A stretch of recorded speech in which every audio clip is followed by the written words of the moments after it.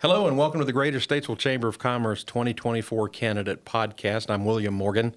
We have the opportunity to interview candidates who are running for local, state, and federal office, and we're pleased to be joined today by Beverly Maurice, who's running for Iredell County Commissioner. Welcome. Thank you. Thank you for having me. Absolutely. Tell us a little bit about Beverly. Well, I'm originally from New York, and I probably shouldn't have said that. okay. And I am happy to be a resident of Statesville, and I have decided to run for Iredell County Commissioner because I want to see how many ways I can make Iredell stronger, healthier, and better for all of its citizens, not just some, but all of them. This is uh, it's not a decision you come to lightly. I mean, because it's it's a huge task. It's a it's a big responsibility. Um, have you had any previous experience? Have you done anything like this in the past? Volunteer work or, or any type of civic boards or anything of that nature? I have done so much volunteer work and continue to do so much volunteer work. As a matter of fact, my parents of blessed memory um, had gotten me a notepad to stick on my refrigerator that said, Stop me, help, I can't stop volunteering. so, um, on my list of volunteer work, I have been president and lay clergy of Congregation Emmanuel here in Statesville for the last eight years. Wow. I keep begging them, please fire, terminate, behead me, whatever you need to do. No such luck. I am the chair of Iredell's Clergy for Healing and Justice, Inc. It's incorporated. I am a volunteer on the committee for Iredell's Walk to End Alts, short for Alzheimer's. Mm-hmm. I am a Holocaust educator. I am now an Alzheimer's educator. I volunteer once in a while at uh, Fifth Street Ministries. I am a high school substitute teacher. Um, I can probably think of a few more things. I'm a member of the NAACP here. I could keep going. So, in your spare time? In my I'm spare time, I decided to run for Iredell County Commissioner. Actually, what happened is a few years ago, I was kind of fed up with our government and the politics in general. And so I did a lot of praying. And at first, I said, you know what? I'm going to move out of this country altogether. And then I said, no, I need to stay here and see how I can make my little piece of the world a better place. Mm-hmm. And the opportunity was handed to me, literally handed to me, mm-hmm. and I grabbed it. Good for you.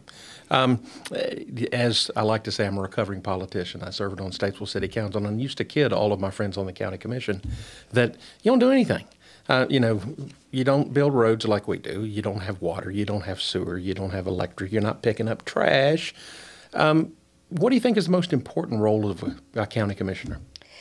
I think one of the most important roles would be to find the right people for the right jobs underneath them.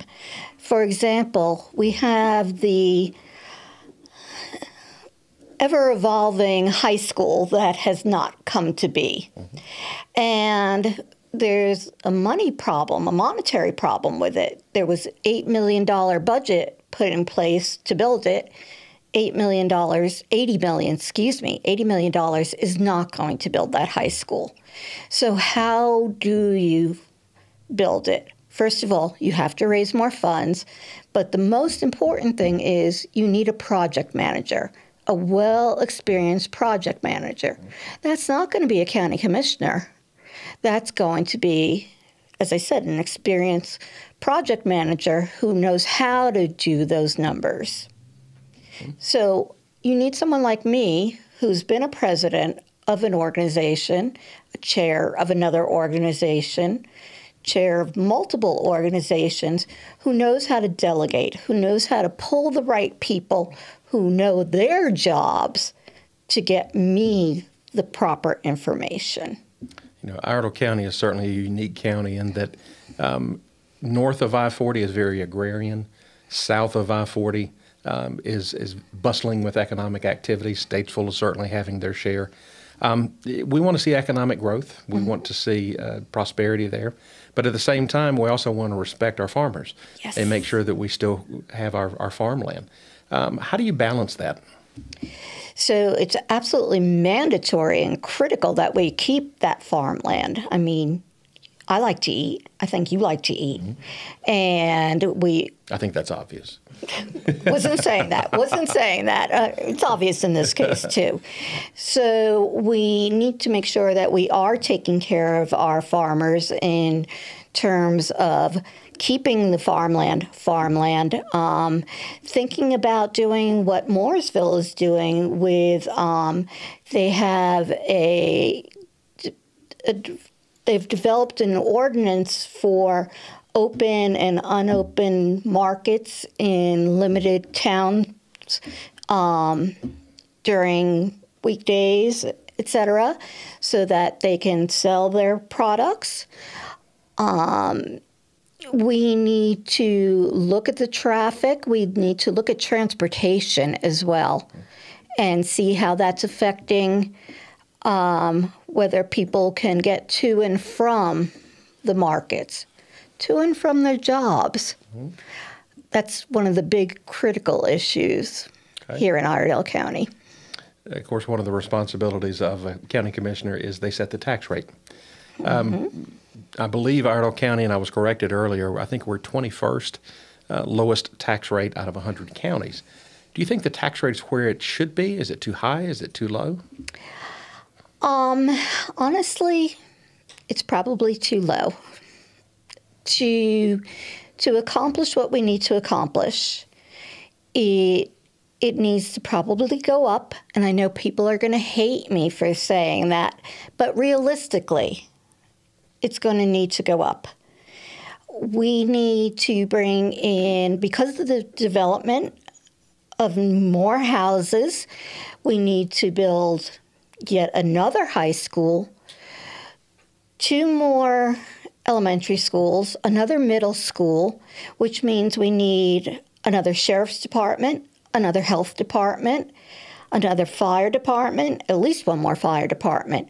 For all these services, we need to raise the taxes, unfortunately, because it's not the new homes that are going to bring in the taxes, it's the current homes that are going to help bring in the new services. As you've been campaigning and talking to constituents, uh, what do you think is the most pressing issue in Iredell County? So, I've heard from several people.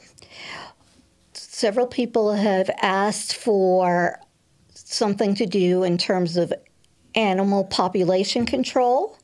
I've had people ask me, can we bring in an adult daycare because of the high numbers of people with dementia, et cetera, or mental health problems um, that are preventing them from working their jobs full time? So we need some respite for those people. And of course, the farmers have been asking for for help. So those are the three main things that people have been asking me for. Okay. Um, it, as you are aware, with your experience on boards and, and, and running organizations, you've got to get people to agree to move forward. How would you build consensus on the board? So, to build consensus on the board, people have to understand that we are a team. Mm-hmm. And you have to understand that you can't win individually and you can't win every battle. But I have to be able to win some battles, and you have to use a lot of logic. And you have to be willing to say, okay, I'm not going to win this round, but I'm going to win this one, and here's all my logic, and here's all my reasons, and here's all my data. And please don't let emotions be what leads you. Sure. So, uh, in the moments we have left, why vote for Beverly? Because Beverly cares about not only the citizens here in Statesville, just because I live here, but it's the citizens in Mooresville, it's the citizens in Olin, Union Grove, Harmony, Turnersburg, just all the citizens. I think everyone here in Iredell County deserves a fair shot and should have the right to transportation to be able to access everything that any other person can. Well, we, we certainly appreciate your enthusiasm.